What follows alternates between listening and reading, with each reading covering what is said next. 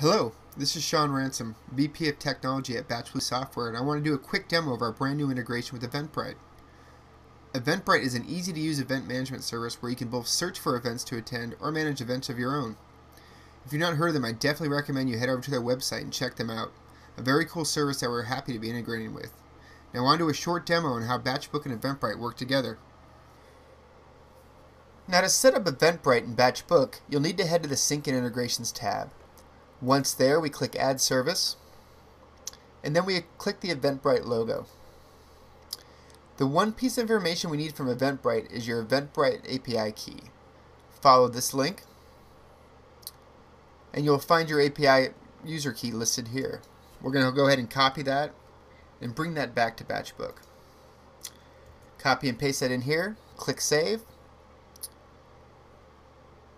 and you'll see the Eventbrite integration has been successfully set up.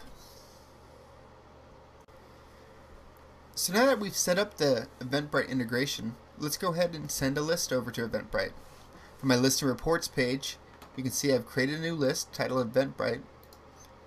And when I click on that list and I go to the list detail page, I now have a new option. Here we have Eventbrite listed, so let's go ahead and click that button. Now, here is a couple different things I can do. I can either send a contact list to an existing list I have in Eventbrite, or I can create a new list.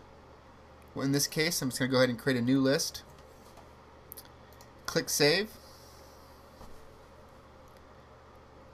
And there we go. There's a success message. Our list has been sent over to Eventbrite. And now let's go check that out on the Eventbrite side of things.